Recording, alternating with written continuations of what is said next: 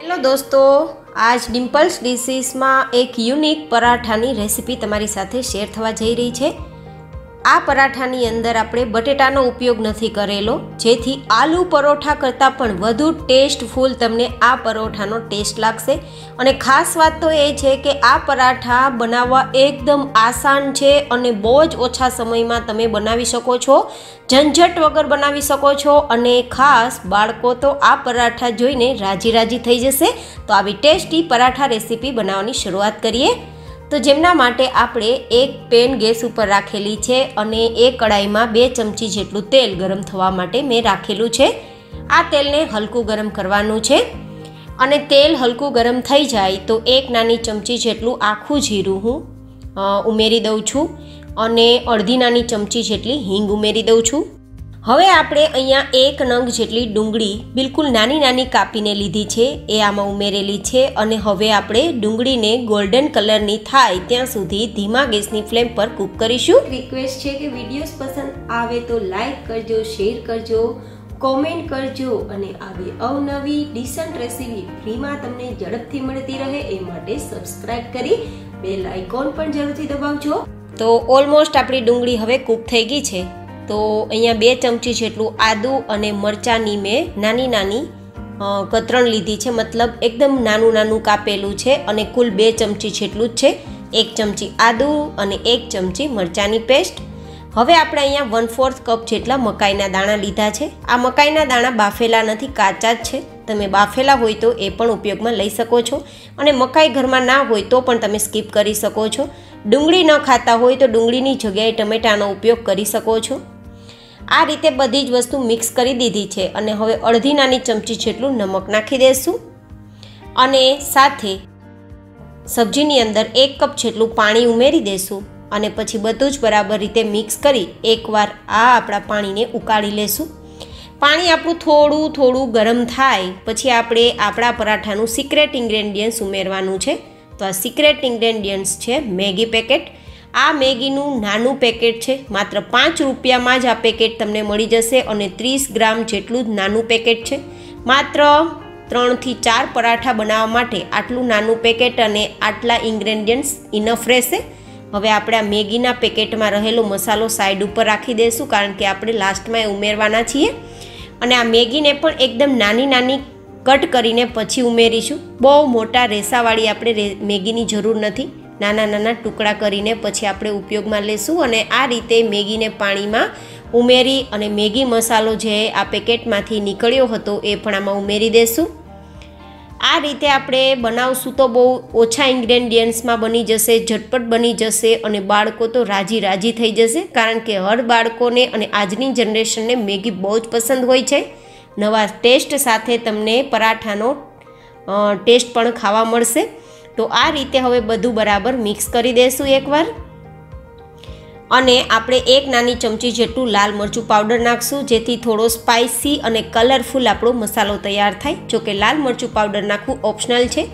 હવે બરાબર રીતે મિક્સ કરી દઈશું આ રીતે મિક્સ કરી દીધા બાદ હવે ગેસની ફ્લેમ મીડિયમ રાખી દઈશું થોડી મીડિયમથી ઓછી, એટલે કે લોથી થોડી વધુ અને મીડિયમથી થોડી ઓછી આ રીતે ગેસની ફ્લેમ રાખી અને હવે આપણે આપણા મેગીને કૂક કરવા માટે ઢાંકીને સમય આપવાનો છે. આપણે લગભગ એક કપ જેટલું પાણી નાખ્યું છે તો મેગી બરાબર કૂક થઈ જશે અને મેગીની અંદર બિલકુલ મોઇશ્ચર ના રહે ત્યાં સુધી આપણે કૂક કરવાનું છે. આપણું આ મિશ્રણ ઘટ થઈ જવું જોઈએ. એટલે મેગી પણ કૂક થઈ જશે અને મિશ્રણ પણ ઘટ થઈ જશે. તો ઢાંકીને કૂક કરીશું.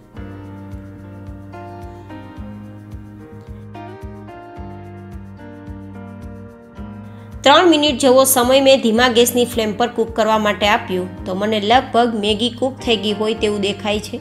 જો મેગી કૂક ના થઈ હોય તો તમારે થોડું વધારે પાણી નાખવું અને મેગી કાચી ના રહે ત્યાં સુધી કૂક કરવું.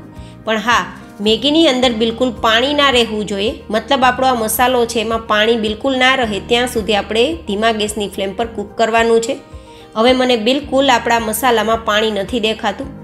થોડું થોડું તમને આ હજુ પણ પાતળું લાગતું હશે, પરંતુ બિલકુલ ચિંતા નહીં કરવાની, કારણ કે હજુ આ મિશ્રણને આપણે બરાબર ઠંડુ કરવાનું છે. તો જેમ ઠંડુ થશે તેમ વધુ ખટ થશે. તો હવે આપણે આ મિશ્રણ તૈયાર થઈ ગયું છે, તો ગેસની ફ્લેમ બંધ કરી દઈશું અને આપણા મિશ્રણ કે મસાલાને બરાબર આપણે ઠંડા કરવા માટે સાઈડ ઉપર રાખી દઈશું એ આપણા મસાલા ઠંડા થાય છે, ત્યાં સુધીમાં આપણે પરાઠાનો લોટ તૈયાર કરી લઈએ.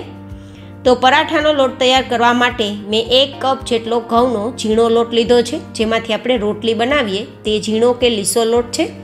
આપણે અહીંયા મેંદાનો ઉપયોગ પણ કરી શકીએ છીએ, પરંતુ હેલ્ધી પરાઠા બનાવવા માટે મેં ઘઉંનો જ લોટ ઉપયોગમાં લીધો છે.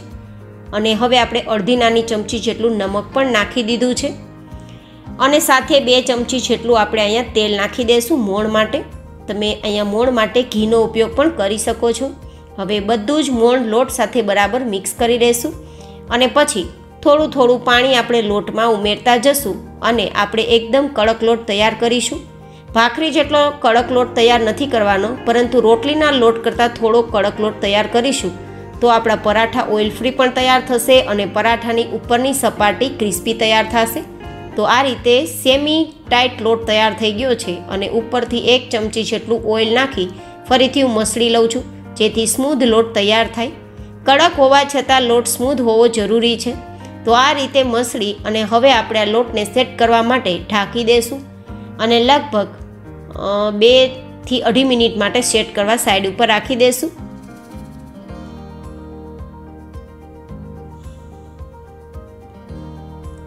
બે મિનિટ જેવો સમય થઈ ગયો છે અને લોટ પણ ઓલમોસ્ટ સેટ થઈ ગયો છે. તો હવે આપણે આ લોટને બસ એકાદ મિનિટ આ રીતે મસળી લેશું, જેથી વધુ સ્મૂથ થઈ જાય.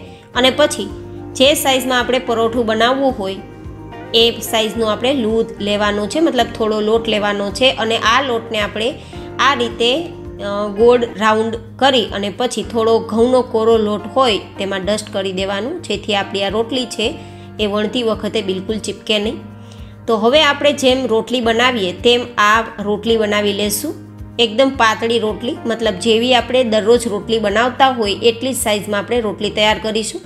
જો આટલી થિકનેસવાળી રોટલી છે, એ જ રીતે આપણે બીજી રોટી પણ તૈયાર કરી લઈશું. મતલબ બંને રોટી એક જ સરખી સાઇઝમાં હોય એ વધારે જરૂરી છે. જો આ રીતે ચેક કરી લેવું, એક ઉપર એક રોટી રાખીએ તો બરાબર એક જ સરખી સાઇઝ છે. તો આ બંને રોટી તૈયાર થઈ જાય, પછી આપણે કોઈ પ્લેટમાં એક રોટીને છે તે રાખી દેશું. અને આપણી આ જે રોટી છે, એની સાઈડ ઉપર જે કિનારી છે, એ કિનારી ઉપર આપણે હલકું હલકું પાણી લગાવી દેશું, જેથી આ પરોઠું છે શેકતી વખતે ખુલે નહીં.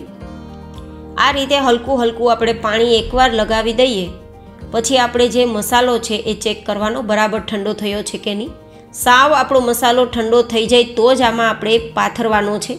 નહીં તો પરોઠું છે, એની ઉપરની લેયર્સ ક્રિસ્પી નહીં થાય. તો આપણો મસાલો બરાબર ઠંડો થઈ ગયો છે. બસ એટલા જ માટે હું આ રીતે પાથરી રહી છું. મસાલો ભરપૂર પાથરીશું. પરાઠાનું લેયર્સ એકદમ પાતળું હોવું જોઈએ અને મસાલો ભરપૂર હોવો જોઈએ તો એક અલગ જ ટેસ્ટમાં તમને પરોઠાનો ટેસ્ટ ખાવા મળશે. હવે ઉપર આપણે બીજી રોટી આ રીતે મૂકી દીધી છે અને પછી બંને રોટીની કિનારીને આપણે દબાવી દઈશું જેથી આપણે જ્યારે શેકીએ પરાઠાને ત્યારે ખુલે નહીં. તો હવે આપણે પરાઠાને શેકવા માટે ગેસ ઉપર મીડિયમ ગરમ તવો તૈયાર કરવાનો છે. હવે મીડિયમ ગરમ તવા ઉપર આપણે પરાઠાને મૂકી દઈશું અને પછી મીડિયમ ગેસની ફ્લેમ પર બંને સરફેસ ગોલ્ડન કલર થાય ત્યાં સુધી ફેરવતા જશું અને કૂક કરતા જશું. ધીમી ધીમી આંચ ઉપર અથવા તો મીડિયમ આંચ ઉપર આપણે શેકશું તો ઉપર અને નીચે બંને સરફેસ ઉપર ગોલ્ડન કલર આવી જશે અને અંદર સુધી પરાઠા આપણા કૂક થશે. એક સાઈડ ફેરવી લીધી છે તો હવે આપણે થોડું બટર લગાવી દઈશું તમે ઘી પણ લગાવી શકો છો અને તેલ પણ લગાવી શકો છો. તો આ રીતે મેં બટર લગાવ્યું છે તો ઉપરની સપાટી વધારે ક્રિસ્પી થશે. અને પછી ફરીથી આપણે સરફેસ બદલી નાખશું અને ઉપરની તરફ ફરીથી થોડું બટર લગાવી દઈશું આ રીતે હવે બંને સરફેસ ફેરવતા જશું અને મીડિયમ ગેસની ફ્લેમ પર આપણે આપણા પરાઠાને ગોલ્ડન કલરનું થાય ત્યાં સુધી દબાવી દબાવીને શેકીશું. તો બધી બાજુ બરાબર શેકાઈ જશે અને પરાઠું આપણું ફૂલી જશે. તો આ રીતે આપણું પરોઠું હવે ઓલમોસ્ટ શેકાઈ ગયું છે. તો આપણું આ પરોઠું છે એને આપણે તવામાંથી નીચે ઉતારી લઈએ. જો કેટલું ટેસ્ટી દેખાય છે. હવે આપણે આ પરાઠાને એકવાર ખોલીને ચેક કરી લઈએ. જો ઓલમોસ્ટ શેકાતા શેકાતા થોડું થોડું ખુલવા લાગ્યું છે જો. આના ઉપરથી તમે અંદાજ લગાવી શકતા હશો કે પરાઠું છે એ કેટલું ઉપરથી ક્રિસ્પી, ઓઇલ ફ્રી અને અંદરથી ટેસ્ટી મસાલેદાર તૈયાર થયું હશે. આવી ટેસ્ટી રેસિપી દરરોજ ફ્રીમાં જોવી હોય તો ડિમ્પલ્સ ડિશિસને સબસ્ક્રાઇબ કરી બેલ બટન દબાવી દેજો અને મારી આ મહેનતને પસંદ આવે તો લાઇક કરજો. બહુ જલ્દી મળીશું એક નવી જ રેસિપી સાથે. ત્યાં સુધી હંમેશા ખુશ રહો, હસતા રહો, ટેક કેર એન્ડ બાય.